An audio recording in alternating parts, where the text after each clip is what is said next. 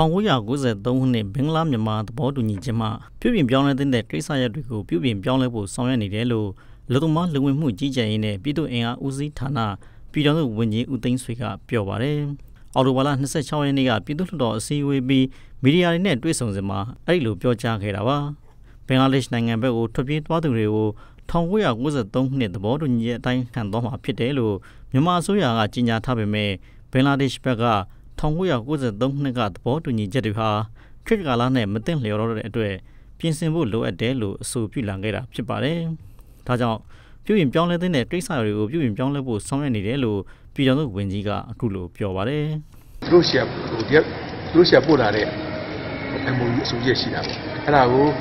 ဟိုဦးဌာနအလိုက်ဒါပြန်ပြီးတော့မှလေ့လာပြီးတော့မှပြန်လဲပြုပြင်ပြောင်းလဲတဲ့ကိစ္စလေးညှိနှိုင်းတဲ့ကိစ္စလေးဒါပြုပြင်ပြောင်းလဲဖို့ဆောင်ရွက်နေပါလေ။ ဒါအပြင်မကြာသေးမီက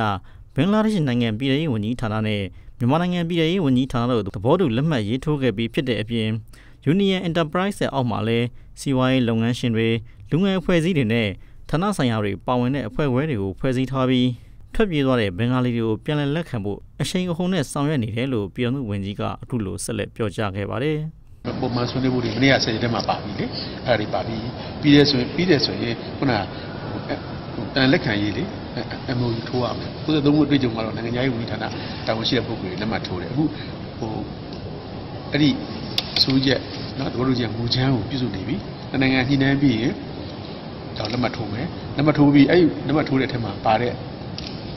တဘောတို့ကြီးအတိုင်းပဲအောက်ခြေမှာဆက်ပြီးတော့မှလုပ်ငန်းကော်မတီဖွဲ့စည်းတာနောက်ပြီးတော့မှရမတ်တမတ်တာနောက်ပြီးတော့မှဒီကဟိုဆောင်ရွက်မဲ့အစီအစဉ်တိုင်းဆက်လက်ပြီးတော့မှဆောင်ရွက်ပေးတာတွေကိုဆက်လက်ဆောင်ရွက်သွားမှာဖြစ်ပါတယ်အဲ့တော့ဒီအမြန်ဆုံး MOU ထိုး တို့ဘက်ကတော့ထူးခြားဆောင်ရွက်နေတယ်